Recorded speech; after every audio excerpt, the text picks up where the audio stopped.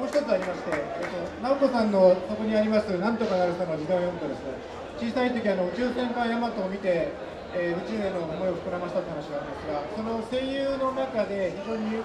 えー、皆さんご存知の、えー、平野文さん、うるせえやつらの平野文さんが、えー、最近あの、女性がいい声を出して、もっと綺麗になろうという声の魔力という本を出されまして、でそれをぜひ、えー、直子さんに渡しいただきたいということで、ここに、えー、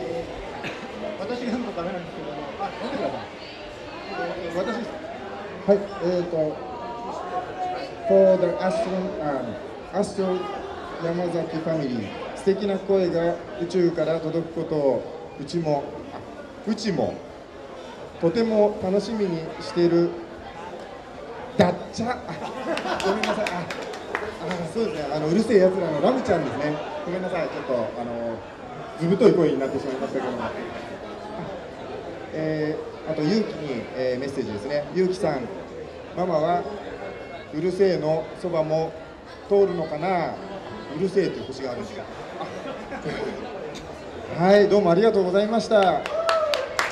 えー、声の魔力、えー、平野文さんですね。本当にどうもありがとうございます。どうぞよろしくお伝えくださいませ。あ